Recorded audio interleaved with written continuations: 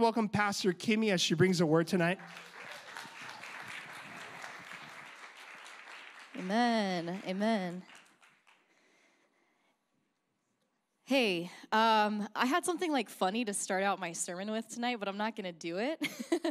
and part of that reason is because God just showed me something in worship, and I wanted to be obedient to what He showed me. Then we'll get to the funny stuff later. But Pastor Joel already kind of primed us tonight to hear that this is not um, some fun, exciting, you know, happy go lucky sermon. Christmas time is so beautiful, it can be really cheerful, but the reality is that life doesn't conform to what Christmas looks like for other people or what it looks like in a movie.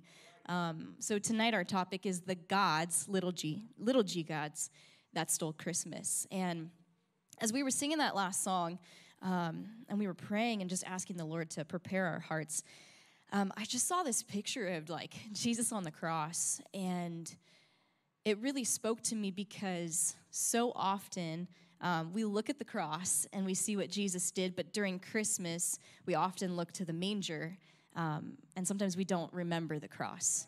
And that song was a good reminder that not only did Jesus come as the light, but look what he has done. Look, look what he did on the cross. And so I was just reminded of that. And then in a hilarious way, God showed me um, my heart was growing uh, two sizes bigger in that moment. And it fit our theme. And so that's what I wanted to share with you today is that when we remember the cross, when we remember that Christmas isn't just a time to celebrate tradition or holidays or any of that fun stuff, it's not just that. Those things are good, but it's not just that. It's also a time to remember Jesus came to be with us so that we could be with him in eternity. Amen? Amen. All right, now the fun stuff, okay? Before we officially get into the in, into the message, I just wanted to get a read on the room and see where we're at with Christmas movies. Um, how many of you in the room have watched the movie Elf? Anybody seen the? Oh, there's some fans in the room. I like that. Okay, good to know. Good to know. I love the movie Elf. It um, seems like it kind of fits my personality sometimes. I just love that movie. I love how silly and like quirky he is, and at the same time, he's super naive, right? Because he goes to New York and he's like, "Oh, Christmas is great, Santa's great," and then there's like all these quotable lines in the movie where you're like, "You smell like beef and cheese. You're not the real Santa," and it's funny because at the same time, Will Ferrell in his own beautiful, quirky, awkward way is reminding us about the holiday season not just being about consumerism, what we can get, um, and stress of the holiday season, but some like really, you know, pure themes about the Christmas spirit, right? Um, hope, music. I love that Zooey Deschanel's in that movie. She makes it amazing, sings very well. and then you see things like themes of friendship and family, and all of these things are so good. And I love all of it. But at the same time, the Christmas spirit is not the Holy Spirit. And when we get so invested in the Christmas spirit, we start to lose sight of Jesus. We start to lose sight of what he did because we end up being all about the, the fuzzy feelings, right? We end up being about the hot chocolate and the Hallmark movie feelings. And, you know, there's like that joke where the girl, the city girl, goes back to her small town and meets a man that she went to high school with and they fall in love. Like all those things that we think that the holidays are about. I don't know when that happened or when that became a thing for our culture, but all of that has absolutely nothing to do with what Christmas is truly about. And that's what we have to remember. We got Christmas trees, we'll give gifts at Christmas, but what is the heart of this? Because if we mix our celebration of Christmas with our hearts tuned into both Jesus and the culture of the Christmas spirit, we won't be able to see God for who he really is, and we may end up worshiping other things than God in our hearts. So, tonight's big idea is that we must be cautious not to mix our worship of Jesus with other little g gods of our culture. That's our big idea. I'll say it one more time. We must be cautious not to mix our worship of Jesus with other little g gods of our culture. In Deuteronomy 6, it says this Fear the Lord your God, serve him only and take oaths in his name. Do not follow other gods, the gods of the people around you. Hold on to that. For the Lord your God, who is among you, is a jealous God, and his anger will burn against you, and he will destroy you from the face of the land. That last part's a little crazy, right? A little scary. But the reality is that God is a jealous God. Not jealous like an ex girlfriend jealous or, or ex boyfriend, I don't know, but jealous in the sense of he yearns for your affection and your attention because he loves you. So let's get into that. What are some of these gods that we are talking about? The gods that stole Christmas. I think you could come up with a list of your own probably, but let me just name a few. Some of those things are consumerism, like we talked about. What can I get from this season? We come up with these like really long, intricate, elaborate uh, Christmas lists, and then we send them to all of our broke friends and hope that they'll come through for us, right? Yeah, I just really want this like uh, TV. It's twenty-five thousand dollars, you know. And we come up with these thoughts and these ideas about what we need, and that becomes a god. Consumerism. What about family? Family can be a god. When family takes all of your attention and your affection away from Jesus, that becomes what your heart is towards. There's also things like holiday traditions, even religiosity. I gotta come to church, check it off, I'm good after that. You know, I have to come to the Christmas Eve service. I got to come to that candle candlelit service because it seems fun and there's going to be a quartet, you know, whatever that is. Even legalism. Well, I have to worship Jesus in this one way. I have to kiss the baby Jesus. I have to do these things. Or happiness, materialism, people pleasing. These are little g gods, and this is just to name a few, that begin to steal Christmas. So, my first main point for you tonight is one simple word attention. My first main point for you is attention because this is what these little g gods are after first. They're after your attention. You may think to yourself, I've thought this, I still think this all the time. I don't serve or worship any gods besides like the one true God. Obviously, I'm in the front row worshiping, you know, I'm praying at the altar, I'm praying at home, I'm reading my Bible, but However, we can know what little g gods have our hearts because of what we spend our attention on. What comes up in my mind more frequently than God? What things do I think about before I go to bed? And what's the first thing on my mind when I wake up? You know, uh, iPhones are really scary these days because they can tell you pretty much everything about how you use your phone.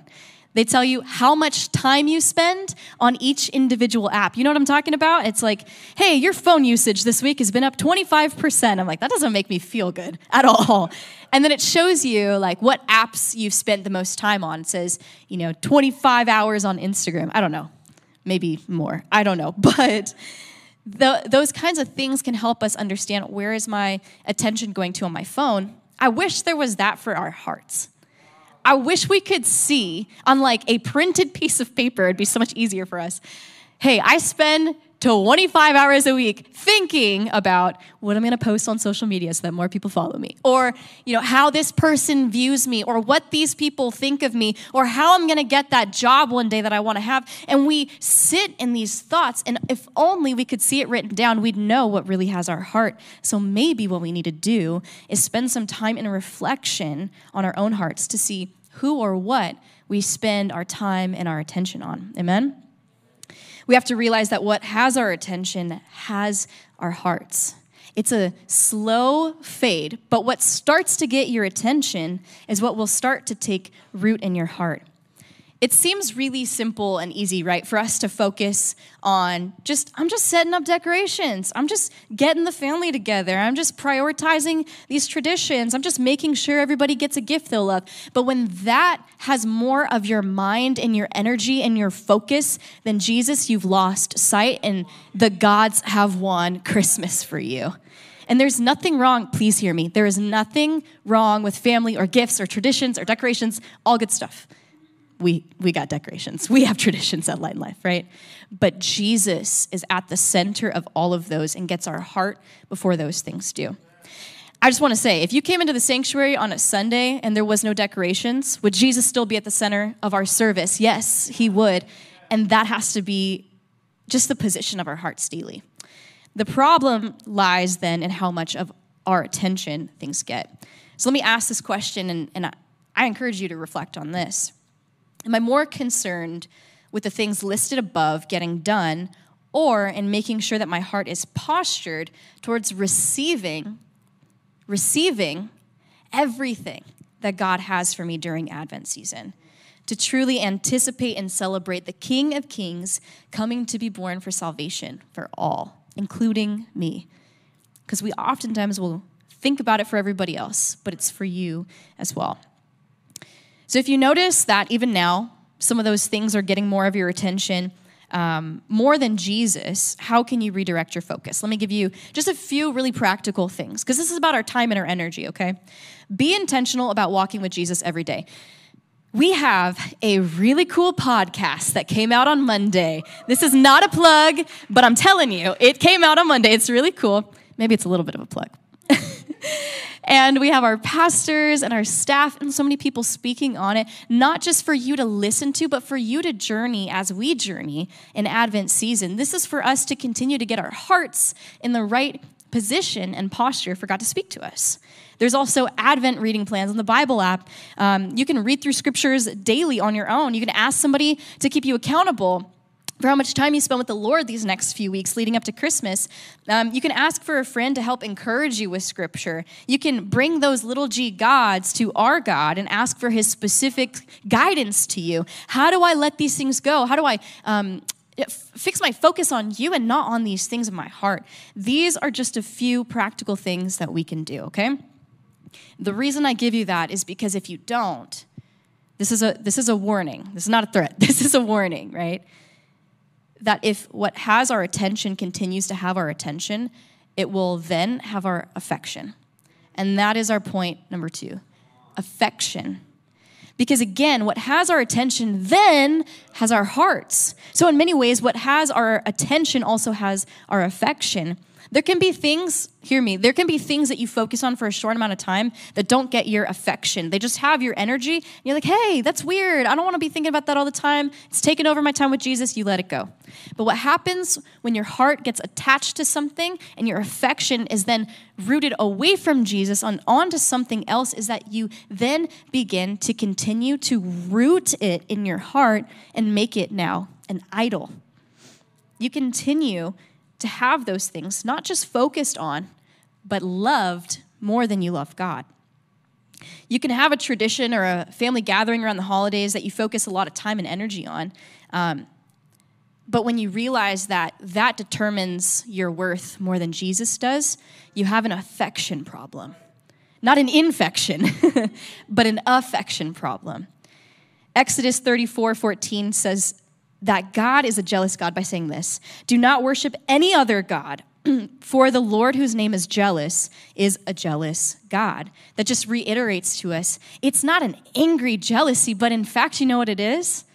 It is, a, I made you, I know you, and I love you. Those gods don't serve you. They don't love you, and I know what's best for you. It's that kind of jealousy. He doesn't want your leftover affection or attention or devotion or time or energy. He wants the best of you because have you ever thought that God actually gave you the best of Him? That he didn't just come to be born and live a nice life and just pass away slow. Like he died on the cross for you. He gave up everything. He himself came down. He didn't just send um, like a representative.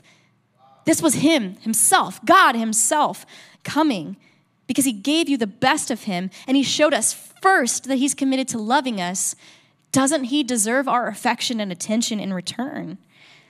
God loved us so much, He sent His done to die for our mess ups, our sins, our mistakes. That's why I started with that, that, that picture that God gave me of Jesus on the cross while we're singing Noel, because Christmas is about Jesus' life, His death, and His resurrection when we think about it. He didn't just come, He came to die for us. If you need to read John 3:16 to yourself every day to remember that, do it. If you need to watch like The Passion of the Christ or something like that to get back into remembering who Jesus is, do it because it's about where your heart is postured.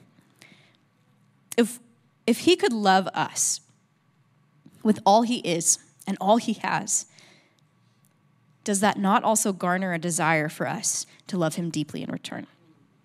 Not only can none of the gods that we end up worshiping and end up serving save us, but they also don't really do anything for us. Hear me when I say that because family is great and can bring a sense of belonging. Receiving gifts and having things can meet certain needs minimally, right? Even traditions can help us feel a sense of being connected to one another if we're feeling lonely. But none of these gods could serve you or love you the way that God, Jesus, Yahweh, loves you. No God could take your place and die for your sins and pay your price. Only Jesus could do that. No little g God could actually give you a real sense of belonging. No little g God could actually give you your needs met. Can't be your provider or your protector only Jesus. And I say that, and I know that's a lot to think about in one moment. It, I, you start thinking, like, oh, am I doing the wrong thing? No, but Jesus, at the center of all those things, is your provider, your protector. He is the one who comes through for you, who can save you, and nothing else can. That's why we need to unroot the things that have been stuck to our hearts. So, if you feel like you're missing something in this Advent season, check your heart and ask God to reveal anything that's captivating your attention and your affection and not allowing you to devote your heart fully to the Lord. And you know what that feels like. You know when you feel like there's a burden in between you and God, or, or a, a, wall in between you and God, and you keep thinking, oh, I just wish I could give like all of my attention to God, but I'm so busy right now. I wish I could give all my affection to God, but I'm so stressed and I'm thinking about everything else. And we do that. You need to bring that to the Lord. Ask Him to remove that. Deuteronomy rem- reminds us in Deuteronomy 6 5, love the Lord your God with all your heart and with all your soul and all your strength. It wasn't just a suggestion, it's a commandment. It wasn't just a, this will help you have a good, happy life. This is what will lead to eternal life. So, here's some practical ways this season to recondition your heart to love the Lord deeper. Be still before God, not doing anything, not you know, cleaning and worshiping. Like, just be still before God and let Him love you by being in His presence. Remember times when God has shown you His love and compassion and mercy to you in your own life. Nothing is more powerful to us in, in learning to be grateful than remembering what God has already done. Remembering your testimony, remembering these stories, even asking somebody else, What has God done for you so that I could be grateful as well? Listen to some worship songs that remind you of God's love. If you need a suggestion, talk to Isai, talk to the pastors, talk to the leaders in this church. We got playlists for days, guys, I'm telling you. That's what we play before and after service, all right? But if you need some songs, ask or ask a friend. Um, you can also journal or write a reflection on God's presence in your life, allowing Him to speak to you about how He's loved you. And then to pray and ask God to reveal His love to you. And the third point is this direction. So we talked about attention, we talked about affection, and this third point is direction. Because these points are progressive. What starts to get our attention roots itself in our heart and becomes what takes all of our affection will eventually determine your direction. That's not to scare anybody, but it's to remind you that if your heart is for something else, you will not serve the Lord with all your heart, soul, or love the Lord with all your heart, soul, mind, and strength. You will not serve Him wholeheartedly. You will not be in his presence daily because you're looking to other little g gods to provide for you. What's really scary about this is not that we can't come back to God. We can always come back to God in these places where we say, Oh, something has my attention and my affection. Okay, God, help me. And we can reroute our hearts to know Jesus' love. But if we never notice it. And we think, I'm worshiping God on Sundays or Wednesdays, and I can still do all these other things. We create this really bad mix of our theology of God, and we're not really doing one or the other. Our heart starts to become this empty place where many idols and little g gods can just be placed and then removed and then replaced but there's only one throne of our hearts. There's only one throne in our lives, and that's for the King of Kings. in saying that our attention and our, our affection will determine our direction, I'm also reminded that what's stored up in our hearts will come out of our mouths. Whatever is now taking root will then become what I not just talk about, but as I speak things, I'll start believing them. As I start believing them, they'll become my habits. As I start creating habits, I start forming these long trains and lines of a path that I didn't know I was even on. And that's not where I was meant to go. If I'm more concerned about worshiping these gods than the one true God, I will always feel like Jesus is not enough. If I'm always talking about curses and complaining and hopelessness and a lack of peace, and that's where my heart and my mind and my words and everything is at, I will never think Jesus is enough because I've focused so much on what the world could bring to me. I've focused so much on self sufficiency trying to be enough for myself, trying to find all those things, those little g gods to put into my heart to provide for me, to protect me, to do all those things, I will never think that Jesus is enough because then his work on the cross and his attributes and who he is won't seem to be enough either. And what will happen is that you'll see something on Instagram that sounds right and is not biblical, and you'll make that your life verse. And then you'll start to believe that for yourself, and it's so much easier for the enemy to speak these little lies to us, misdirect us, and then we're at a completely different place where God never wanted us to be. If I don't believe that Jesus is enough for me, I will always be in lack, always have a scarcity mindset, always miss out on the good and beautiful gifts of God. And eventually, if you follow this path long enough, you may end up just walking away from God. The sentence or the sentiment, if you will, that I hear frequently is I tried that God thing. It just didn't work for me. God's not a thing, first of all. And you don't just try it. You either dedicate your life or you don't. And so at this point, is my life directed to Jesus or is it somewhere else? And that's the question we have to keep asking. This is not a message for you to go home and say, I'm doing everything wrong. I'm not enough. God, you have to change me and fix me, and all these things are wrong with me. It's not a condemnation kind of message. It's a message of conviction because it's not just you, it's all of us. We all have idols. We all have little g gods that we serve and worship at times, and they all have different holds on us. Some of us, it just has our attention, but something else has our affection we need to make sure that we don't walk away from God's word feeling hurt, but instead feeling hope. I can move forward because I know God hasn't left me. He hasn't said that He's done with me or any of these things. In fact, He's calling me up and to go forward. So that's also why you don't hear this message in a one on one. That's why we have community. That's why we have the church because we all got those things going on. And tonight even if you expected a happy go lucky message, I'm so sorry we didn't have that for you. This was so much more important for all of us to hear. This was so much more important for my heart, and I hope also for yours, because today's word is a caution and a call. It's a caution against what could happen, but it's also a call for you to leave behind whatever was in your heart or is in your heart at this moment. Leave it behind so that Jesus could rule over all. These idols don't just exist at Christmas, they exist year round. But this is a great time to uproot it and let it go. So I'm going to invite the band back up, and I want to give us a, a challenge and also give us a chance to respond. Um, like I shared, this is not a space of condemnation, this is a space of conviction. I was deeply convicted by this message that I wrote. because the Lord was telling me about things I need to let go of. Times when I'm like, I care way too much about X, Y, and Z and not enough about His presence in my life and what He wants to do. So, the band is going to sing uh, a last song, and this song is Jesus, We Love You.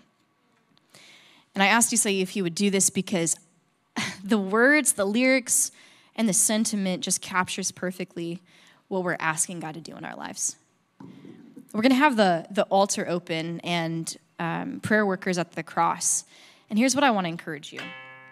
If you're feeling like something has my attention, or something has my affection right now, or I'm starting to be directed to a path I, I never wanted to be on, I want to be on God's path. And I've been doing things and saying things and acting like somebody I'm not, and, and I want to get back on God's path. If that's in your heart, I want to encourage you two things.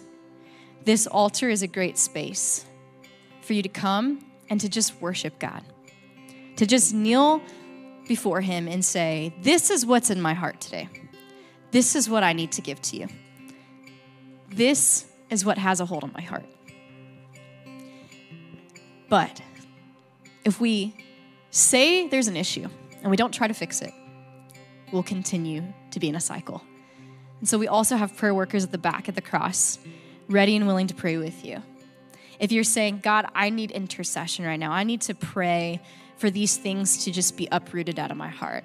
I also need to be encouraged with scripture. I, I need something right now to help me to break this off. I need to come up with a plan after I pray through it, whatever it is. Take advantage of this moment of response together because this is your space. You don't have to go back out to the overwhelming, over stimulating world right now. This is your time to make your decision and say, God, I want to put you first, especially this Christmas season. So, this Christmas, let's make sure that our hearts are directed towards giving attention and affection to the one who deserves it all. Amen. Amen. I'm going to invite you to stand as we worship in this last song and remind you yes, the altar is open. So come. Don't be afraid. Don't be worried and say, I'm waiting for somebody else to do it. This is your moment and your time. And then, as well, if you want prayer, prayer at the cross will be available.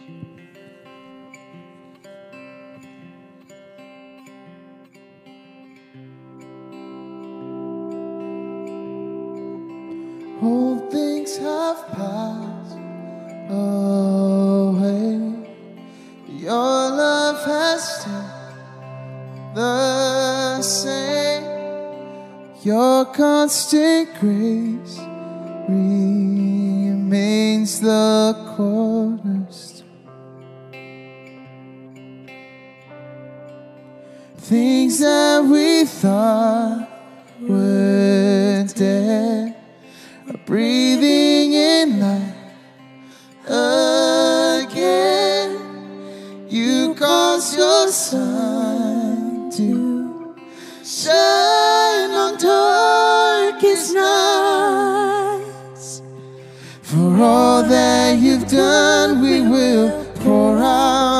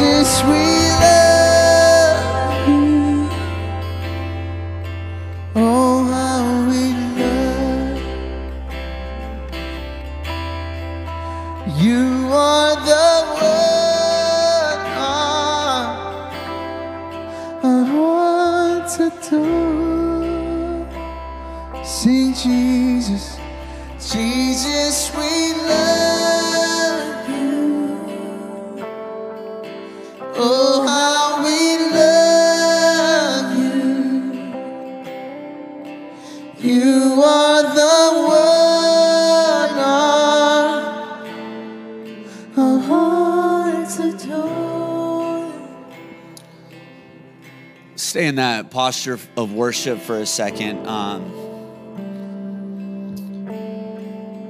I just want to take a moment uh, by way of confession. We come together uh, in community to be forgiven, to be healed, to be restored, to be renewed. Can I just encourage you, church, like being vulnerable before the Lord, opening yourself up before Him and before others, it's a good thing. It's a good thing. Um, how many of you feel like your attention is shifted? Just be honest before the Lord. Like, I, I, need, I need to shift my attention back to God. You've not been reading the Word. You've not been worshiping like you used to. You've not been about the things of God. You've been distracted by like television or social media. There's been just this attention. Like, the, things have my attention now. If that's you, come on, keep your hand up. Keep your hand up wherever you are. If that's you right now, just just raise your hand before the Lord. God, by way of affection, Lord, I pray that you would heal our attention. God, that you would remind us that you are the one that our hearts adore. God, that we would not just sing this song in response because it was the song that Kimmy chose, but it was the song that the Spirit of God wanted to stir in us, that we would be reminded that you, God, are our first love. That, Lord, you are more important than anything. Come on, just say right now for you what it is. You need to remind your soul, remind your heart, remind your spirit tonight. God, you are more important than sports. God, you are more important than business. God, you are more important than other relationships that I have. God, you are more important than consumerism. God, you are more important than social media. God, you are more important. God, you are more important. Come on, shift your attention back to the truth that God's attention was on you even when you were broken in your sin, you were left for dead. He was the good Samaritan. He found you and he picked you up and he healed you and he loved you and he paid it all for you. So, God, we give our attention back to you. Lord, where the enemy's distracted, where he's confused, where he's shifted.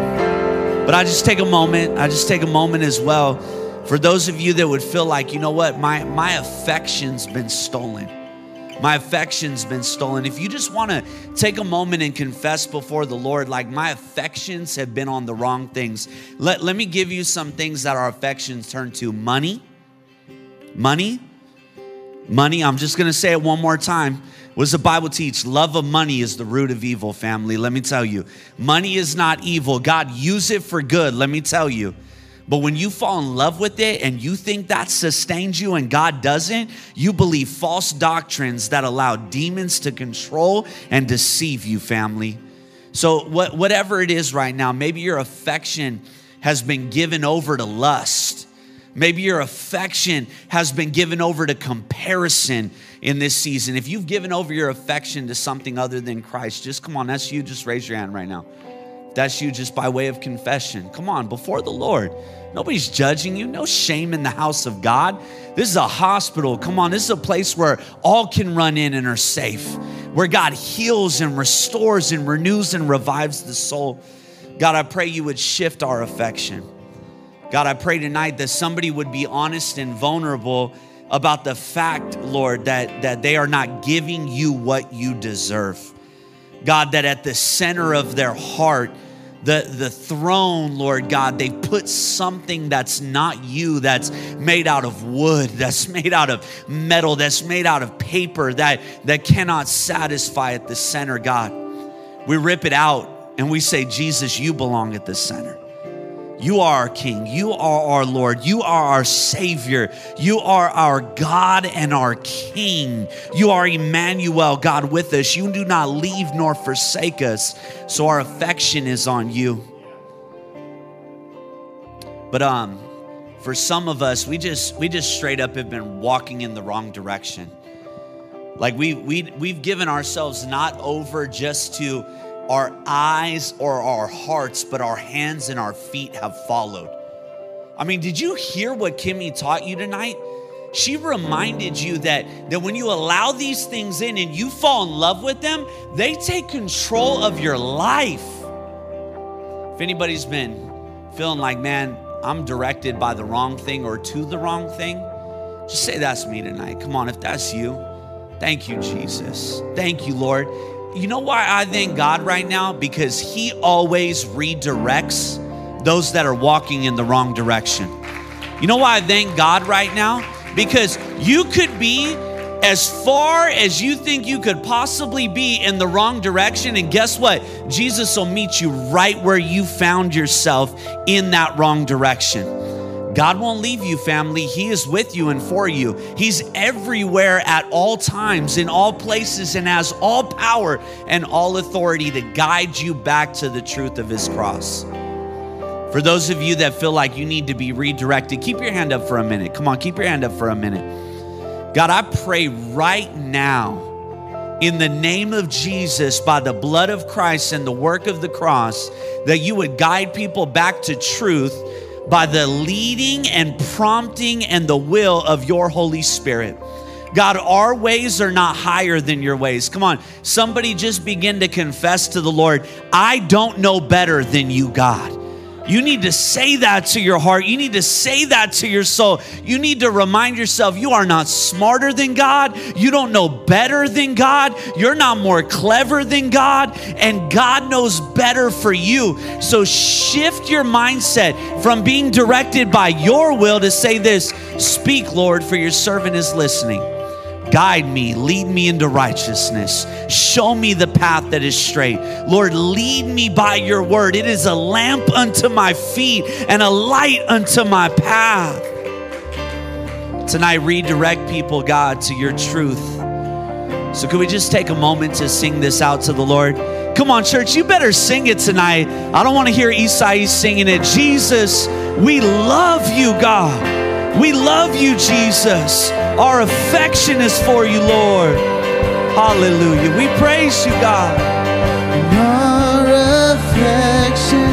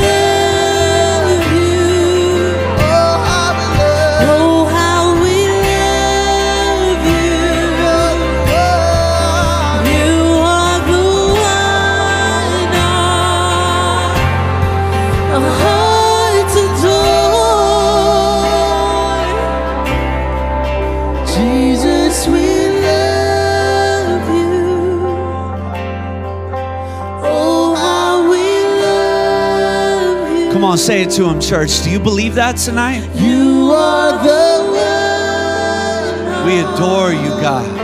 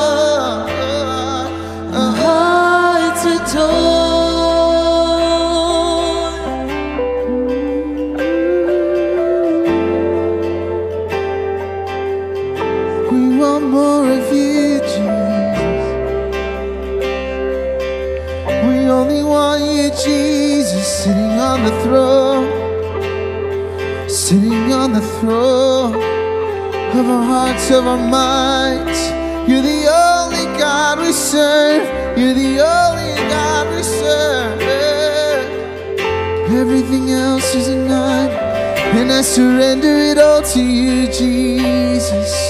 Oh, I surrender it all to you,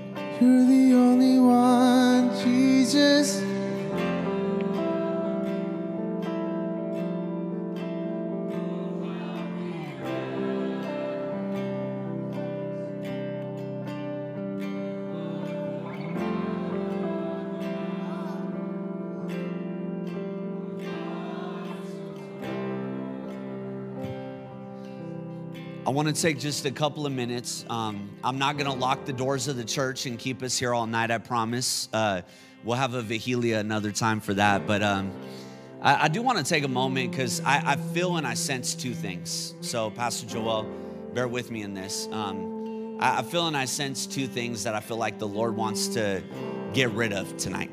Can I share with you? Is that okay? Everybody good with me sharing with you? Have I earned that right to, to share that with you? Okay, here we go. Number one, um, I, I feel like I feel like there's some people that are afraid to worship God in their expression. I really feel like the Lord was saying, like some of you, some of you are afraid, like, well, if I go down to the altar, they'll know something's wrong with me. If I raise my hand, I might look crazy in front of other people. I've never done something like that before.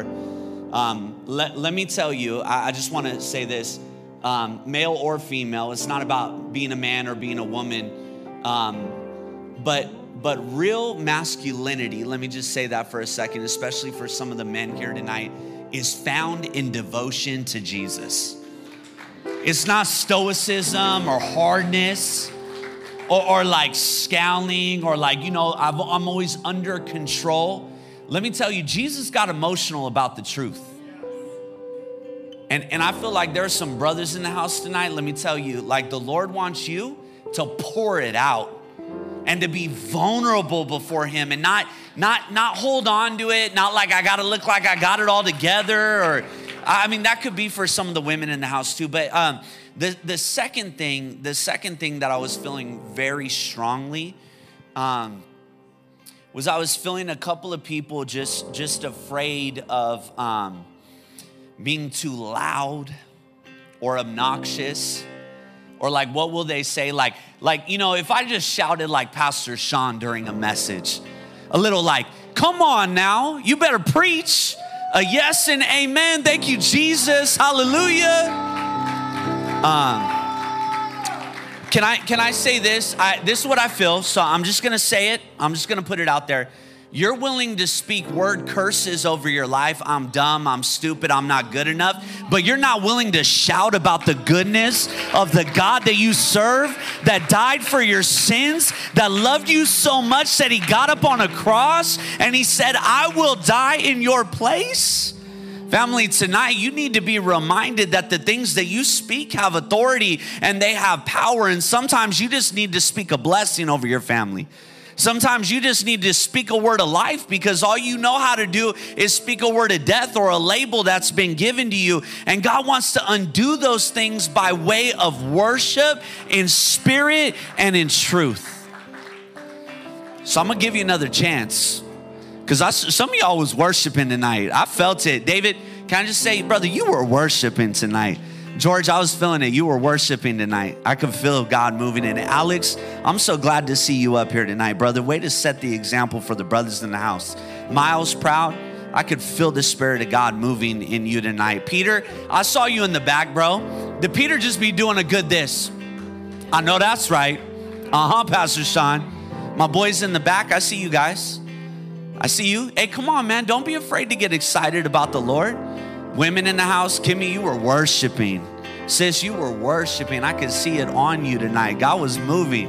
All right, look, look, I'm gonna give you another chance. We're gonna sing this song. But don't don't you get before Jesus and be ashamed of him. Don't be ashamed of him. Don't be like, well, I can't get too excited. I can't have fun in church. I can't be loud for Jesus. If you're going to say something like, Jesus, I love you, you better sing that thing like you really mean it tonight. Could we worship him and could we declare that truth? Come on, Isai, lead us into this. Thank you, God. Jesus, we love you, Lord.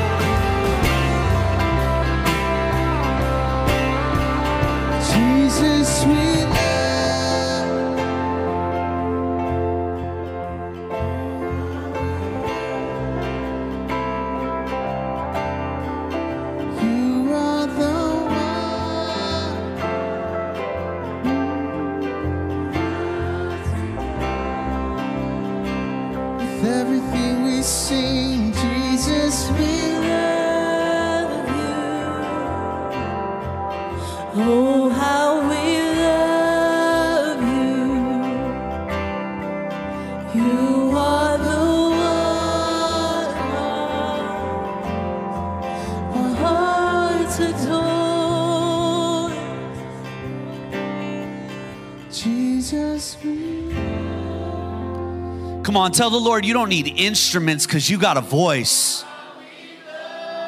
Sing it out like the early church. They didn't have guitars, they didn't have microphones. They just sang out the goodness of God. Hallelujah, Lord. We love you, God. Thank you, Jesus. God, we love you more than anything, Lord. You are our Savior, God.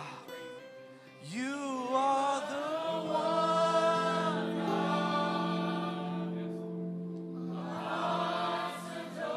Lord, we sing it out to you, God, because it's true, God. Oh, we worship you, Jesus. We worship you, Jesus.